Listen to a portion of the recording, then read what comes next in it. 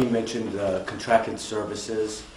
Um, You know, that's not a salary line item, but it's in lieu of a salary position. And I just would suggest at some point, if, I think you mentioned we might have a contracted service if someone comes like for two days.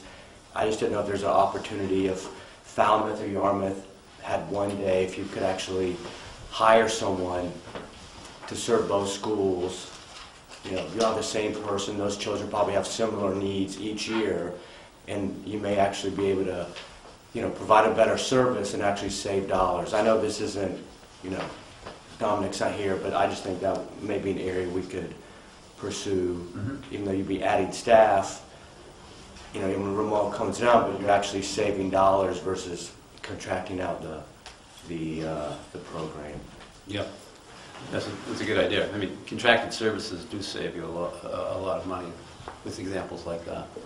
You know, you're not paying the benefits, for example, and usually those people are, you know, in two or three different school systems, and there's some added value to that.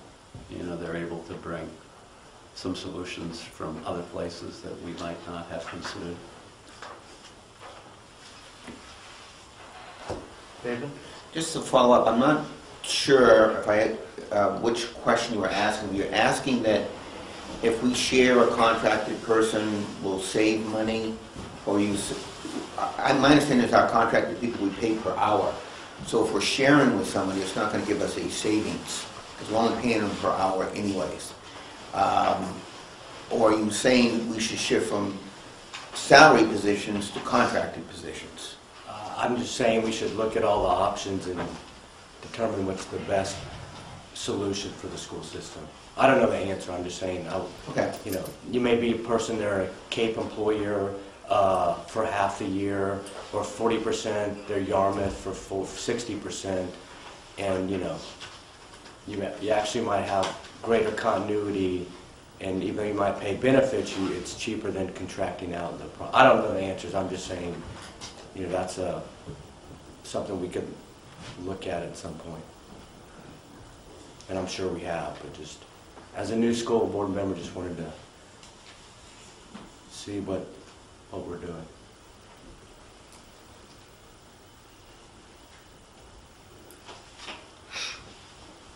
Other staffing questions?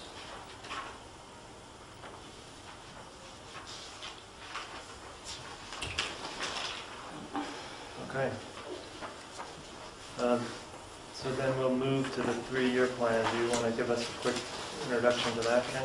Yes, I do. I- um, You know, three-year plans when it comes to school budgets are really crystal balling it, and there's nothing precise in my crystal ball. Um, But for the benefit of the public, uh, what the school committee, school board is considering is not only this year, but also the next two years, particularly when it comes to revenue, uh, because that's part of the story of this budget, and it'll be part of the story of next year's budget.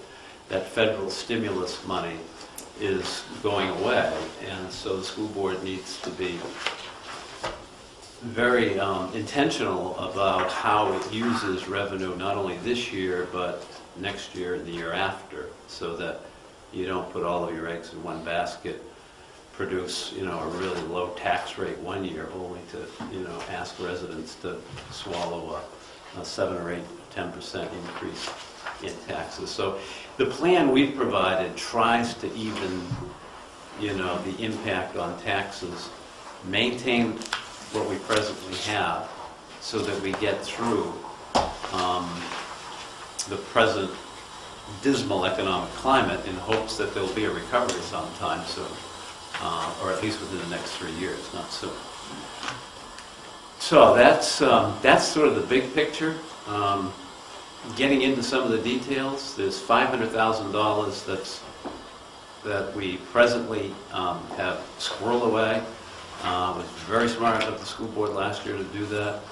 Um, So that money's going to go away, and so what we're, we're suggesting is that the Medicare money you have, um, use that to make up for the loss of the federal uh, stimulus money next year. you could use all of that Medicare money or a big portion of it this year and, you know, really get the impact on property taxes down even lower than what it is, but then you'd be setting up a real problem in year two. I don't know if you follow all of that or not, but if you look at that Medicare line, you can see we're, we're recommending not using any of it this year and putting four hundred and eighty thousand dollars into year two. Just to clarify, when, when Ken means this year, to the layperson, he actually means the next fiscal year, not this year. And um, what you really mean is Medicaid, not Medicare, if I understand it sorry, correctly. yes, yes, yes. And next, next year, or next fiscal year, we're actually using jobs funds bills to make up a large part of the shortfall in this year, two and three, that we're really using uh, our ability, uh, uh, uh, some great collection of Medicaid money that we squirreled away, plus some very aggressive collection of Medicaid money in those two years. Yes. Okay. Thanks thanks for clarifying that. I've got an extra copy if you didn't bring it. Anyone need a copy? Of the three-year plan? Yeah. Anybody else? Good. I've got extra ones too. Thanks. Thank you. Ken, just because I think one thing that'll jump out to people is uh, total expenditures for the upcoming fiscal year are really 450,000, and then for the 2012, 2013, that increases to 760,000. Ask me that again, Michael? The the change in ex- uh, the expenditures, Yes. the change this year is 447,719, and we estimated, you know, 760 to 770 the next two years. Yes. Is the biggest change in that, the, this year we had the contingency fee? What what would be the, It's, uh, it- it- in years two and three, it assumes a 2% increase in salaries, whereas this year, we've got a pretty skinny increase in salaries. That's the biggest difference. Okay. It also assumes that we're going to keep spending levels at current, at current levels. So like in your textbook account, it assumes zero percent. Or in paper, it, it assumes zero percent. What it assumes is a very similar budget as what you have this year. You know, just two, two years of maintenance budgets. And you can do that in many areas, but, you know, like with the price of oil and and things like that, you, you can't do that. So we've built in probably hundred thousand dollars each year, or eighty thousand dollars in year two, and a hundred thousand for that sort of thing. So it's, it's a fairly realistic look at the next two years, as much as you can be accurate at this point. David? Um, I- Ken, I think, has answered it. I I had the general questions I was going to ask of Pauline as to, she's increased our projected expenditure budget each year by a certain amount. It was 440,000 for next year, 760,000 for the year after, and about 770,000 for the year after that. The major portion, I understand you're saying, is salary and benefits that we're anticipating going up, which is always true. Mm-hmm. And you also, I also want to know that even though that's 70 to 80 percent of our budget, did you plug in other increases, because prices always go up, and what were those increases? Just so the public and I can know that we're being prudent about, uh, or realistic, I guess is a better word, about our expenditure increases. Right, um, over and above the salary increase, I looked at about eighty-five thousand dollars per year added to the salary increase. And what would that compose? Would that be like an increase in inflationary costs for supplies? I mean, wh- how did you come up with that number? Well, I think it's what Ken said, we look at uh, an increase in oil, electricity, or other uh, contracts that automatically increase every year. Do we also include just normal increases in cost of supplies and other, other materials that we use because of, uh, um, just normal inflation? Yeah, I think, I think what we're, we're recommending is that you have two more years of a budget like the one you're presently considering. I don't think there's a lot of room um, in school budgets when you know, you're losing this much revenue for a lot of increases. So if you get through two years of maintenance budget, then you, I think you'll be back on a pretty normal sort of budget cycle after the 2013, 2014 year. But there's not room to fund um, a lot of major improvements and still keep that tax rate down. Um, So think we're going to have to remain very conservative. I know you've been very conservative the past three or four years, but I don't see it getting better until the 2013, 2014 school, school year.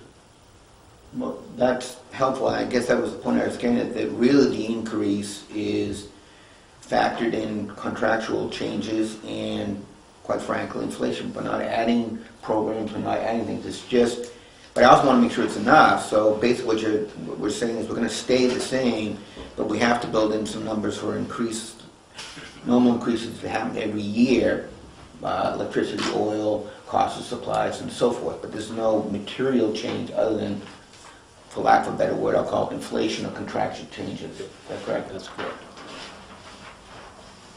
Thank you. Other questions on the three-year plan? It's just directional, I guess, longer-term Medicaid for, you know, planning beyond three years. You mentioned it's, that'll be, be, the day, you know, that'll be tightened dramatically. Is that, you know, have visibility that may one day be a zero revenue contributor, or is it too far out to tell? I, I- I don't know. I mean, we're, we're thinking $125,000 a year is going to be the norm. Um, I, I think that might even get tighter than that. This is my personal, no science behind that either. But we were getting, you know, quite a bit of reimbursement for things, and they have, that is what has been tightened up dramatically we would not be sitting on $480,000 under present reimbursable schemes. David? Could I follow up a bit on that, because I, I, little knowledge is dangerous, but um, I have a little bit of knowledge about Medicaid. Um, My understanding that we would get reimbursed from Medicaid is different than hospitals. And other than, they, they front end the costs, Medicaid front ends the costs, and then they supposedly do a reconciliation a year or two down the road. We actually don't, and I wish Don was here, but my understanding is that we bill and get paid, they review the bill and then we get paid based on a bill. So it's each year, each month or each quarter, they're reviewing our bills and paying, paying us based on bills, not like hospitals, where they simply project what your costs are gonna be and pay you based on their estimate. Is that correct? Yes. So the reality, when we estimate 125, which is about what we think we'll get this year, we, it- it's fairly safe number because it's based on actual billing and they're actually approving the bill as opposed to what's done with healthcare providers in other areas like doctors and hospitals. They're not just estimating from two years ago, they're actually looking at the bill and then paying us. Yes. And we're assuming that, oh, um, my, also my understanding is the 125 we're assuming, we're doing a pretty good job, to Dom's credit, we're getting a very large percentage of the Medicaid monies given out to schools in this state. I think we're getting like 80 to 90% of what they give to schools. Is that correct? I'm not sure of that. Okay, I thought you'd said that earlier, but, um, and I appreciate that, I think people should understand that, I think this is, I personally think this is a reasonable estimate based, and it's based on this year, this year being literally this fiscal year, is what we think we're gonna collect. It may tighten, uh, it may very well tighten, but it's, uh, a reasonable projection, and to be perfectly frank, it's not that, it's a big item, but it's not that big an item in a twenty-two million dollar budget, that if we're off a bit, it's gonna have a huge impact in future years. Is that correct? Yes, um, the other thing is that this money is two years old, and, uh, is it two years old, Paulina? One, right now. Two It's years. two years right now, so you wouldn't be, you you wouldn't be using it until it was three years old. So it seems like if it was going to be subject to any change, we would certainly know by then. But we are actually in years two and three using them a bit earlier than waiting two years, isn't that correct? I think it will still be two years. Year two, the 480,000 will be three years old. Right, but year